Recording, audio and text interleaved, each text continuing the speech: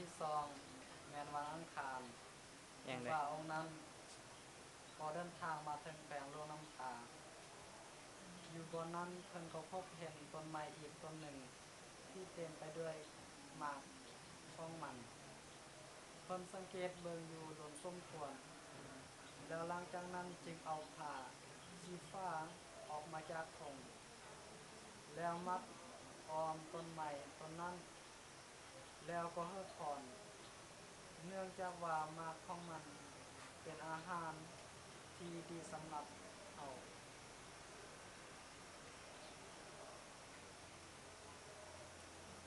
On the second day,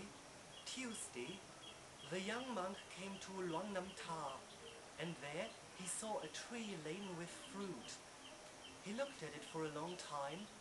then he took a blue cloth from his bag and tied it around the tree. He said,